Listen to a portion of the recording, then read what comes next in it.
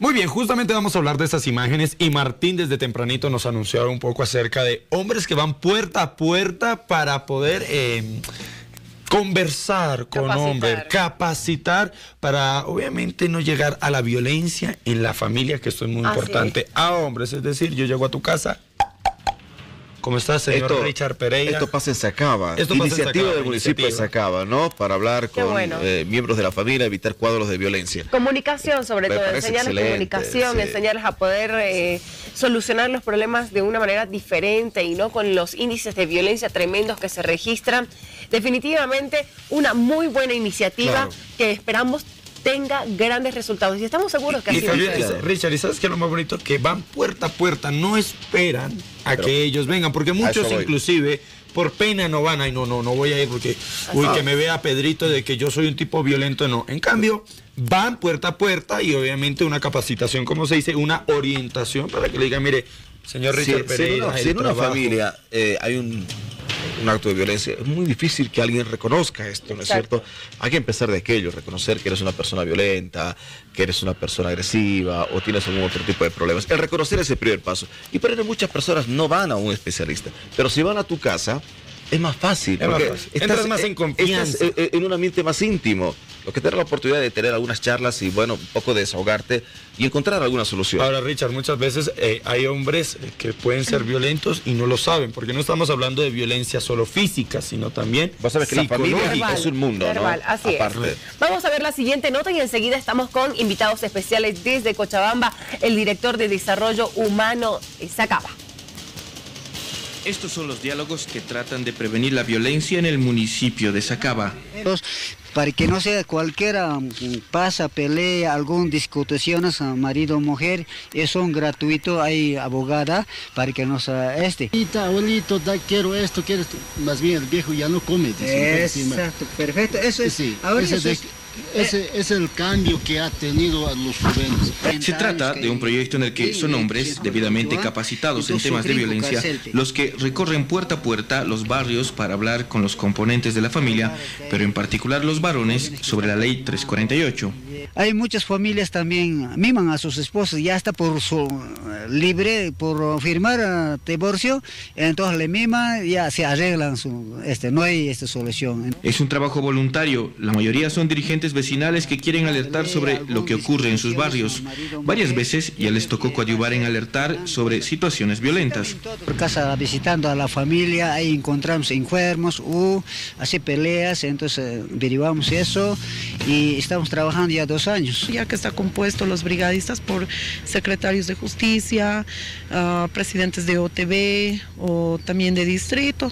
La iniciativa impulsada por la Fundación Voces Libres junto al SLIM del municipio de Sacaba ya lleva dos años y con muy buenos resultados. Sabemos que la 348 protege también al, al varón, ¿no es verdad? Entonces ah, ellos trabajan difundiendo eso. La idea es generar un ambiente de confianza para conversar sobre los problemas de la familia, desde los económicos hasta los de pareja, pasando por la relación con los hijos. Qué interesante este tema, Martín. Definitivamente queremos saber un poco más y estamos con Ramiro Claros, director de Desarrollo Humano de Sacaba, la doctora Arlene Rojas y Mario Sentillón, brigadista, para que nos puedan contar detalles.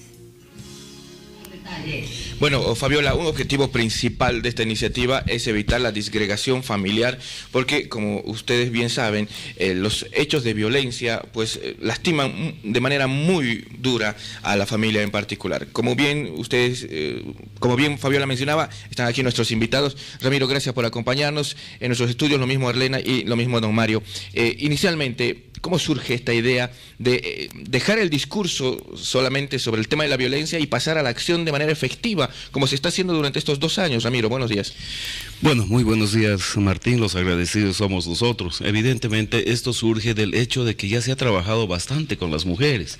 Es decir, a las mujeres se las capacita, saben sus derechos. Ellas han sido promotoras en cierto momento también de, de difundir sus derechos. Pero ¿qué ha sucedido? Vemos una especie de fracaso cuando nuestras mismas líderes vuelven golpeadas. Entonces, ¿con quién tenemos que trabajar? Con el agresor. De ahí surge la idea de empezar a trabajar con los, eh, con los brigadistas y los brigadistas se constituyen pues en especie de vigilantes en su, en su mismo barrio, ¿no? Estamos también a punto de firmar otro convenio con Voces Libres para que aquel agresor vaya a terapia psicológica, ya derivado por el juez fiscal o por el SLIM. Es decir, ya Al Centro Hombres de Paz que ah, recientemente se al Centro Hombres de Paz, sí, evidentemente. Entonces Sacaba también va a estar a la cabeza de esto, va a estar, va a ser pionero en la firma de este convenio y queremos trabajar con los varones, queremos un cambio de actitud en el varón. Eh, doctora, quisiéramos conocer eh, en este trabajo que han desarrollado que ya han existido resultados, es decir, no solamente se está eh, haciendo acción preventiva, sino que se están denunciando, muchas denuncias se canalizan por los brigadistas, ¿verdad? Así es, ah, los brigadistas han estado derivando constantemente los casos. Ah, no solamente hechos de violencia física, sino también psicológica, económica, que también muchas veces el varón no se da cuenta de que está cometiendo un hecho de violencia económica ¿no? dentro de su hogar pero también se han ido derivando ese tipo de casos. Ellos también llegan a identificar a, las familias que son de escasos recursos, entonces ah, a través del convenio es que se les hace un microcrédito para que ellas ah, puedan tener esa independencia económica, ¿no es verdad? Y no sean dependientes de su pareja económicamente, porque muchas veces aguantan este tipo de agresiones por la dependencia económica que ellas ah, tienen. Don Mario es brigadista, don Mario Castellana, a quien le agradezco por acompañarnos hoy. Eh, me imagino que ya son varios meses que están en, este, en esta labor. ¿Qué cosas ha descubierto? Ustedes van con los folletos, como he podido apreciar ayer, don Mario, y me imagino que entran en la intimidad de las familias también, ¿verdad? Así es, muy buenos días a todos los televidentes. Evidentemente nosotros al socializar casa por casa, visitamos casa por casa, a veces somos mal recibidos por muchos varones que son, se, sienten, machistas, todo, pero aún eso nosotros no, estamos desmayando, estamos continuando con el trabajo. Ahí detectamos los problemas familiares que existen, o sea, nosotros, eh, inclusive planificación familiar, muchas señoras eh, no se hacen hacer el Papa Nicolau, nosotros canalizamos mediante nuestros folletos que tenemos y eh, de esa manera también se hacen muchos, por ejemplo, en mi zona ya se han hecho casi 150 señores que se han hecho Papa Nicolau, que ellos no, no lo hacían gracias a, esa visita casa por casa, nos preguntamos incluso de intimidad, ¿se ha hecho hacer su Papa Nicolás alguna vez? y ahí nos detectamos y derivamos a nuestro al centro. Y ahí también detectan hechos de violencia. Correctamente, ahí a veces llorando las señoras nos cuentan, ¿no? A veces factor económico, ellos no acuden al abogado, todo, tú sabes, todo es dinero cuando, si tú quieres, eh, no denuncian, por ejemplo, no tengo dinero, dicen, es para abogados, el abogado es el que lleva todo la flor, ¿no? Porque ellos son, cuanto más eh, pacientes que tengan de este caso, son felices los abogados, pero sin embargo las señoras son, no tienen dinero, por eso tampoco no denuncian en los casos que existen. Entonces, eh, varias cosas detectamos nosotros así visitando casa por casa, ¿no? Eh, y está dando fruto esto. Claro. Richard, ¿tiene consultas? Te, decía Martín, y aprovecho que la cámara está con don Mario. ¿Qué más le dice la gente? ¿Se muestra reacia a momentos cuando uno dice, voy a venir, voy a hablar del tema de violencia? Un, padre de, de, familia puede decir, aquí no hay violencia, no se mete en mi vida, no se mete en mi familia, en mi intimidad. Pueden haber respuestas así. Eh, ¿qué, más le dicen? O, lo invitan a sentarse, le invitan un vasito de refresco para conversar, para charlar. ¿Y cuáles son los temas más frecuentes de los cuales se habla en cuanto al tema de la violencia, don Mario? Evidentemente hay, hay personas que nos cierran la puerta, ¿no? Hay otras personas que evidentemente nos invitan a refresquito. Nosotros en sol, no, para nosotros no existe. Aunque llueva, todos nosotros estamos, cuando tenemos que entregar nosotros 31 Mm, casas visitadas en nuestro trabajo tenemos que presentar eso.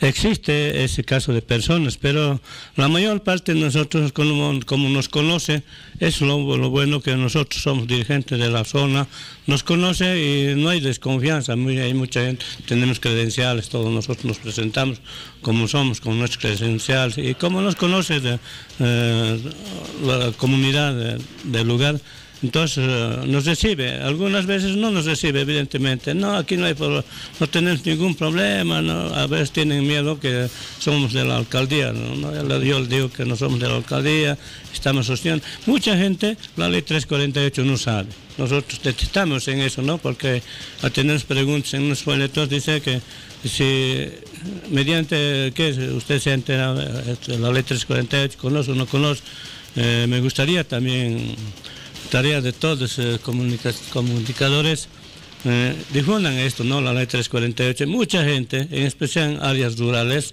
no conocen la ley 348, Martín. Entonces me gustaría socializar mediante su, programa eh, unos minutitos.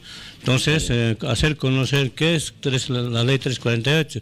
La ley 348 protege a, a, la mujer todo lo que es maltrato, ¿no? Como te decía, por factor económico mayormente no dan parte a las autoridades. Ya nos aclaró todo entonces, don Mario, sobre qué tipo de conversación se tiene con las familias. La pregunta va por, para don Ramiro Claros. ¿Ustedes hicieron algún estudio, nos imaginamos, sobre este tema de la violencia dentro de, la familia? Eh, y surge por acá el interrogante, consigo plenamente, ¿por qué solamente para hombres? ¿No se puede dar esta charla también para mujeres? Deben haber algunos casos, o el índice es tan superior en cuanto a porcentaje sobre los actos de violencia de los hombres hacia, hacia las mujeres? Bueno, evidentemente se ha hecho un estudio, ¿no? Hay una situación bastante preocupante de que la violencia se traslada al seno de la familia, al interior de la familia.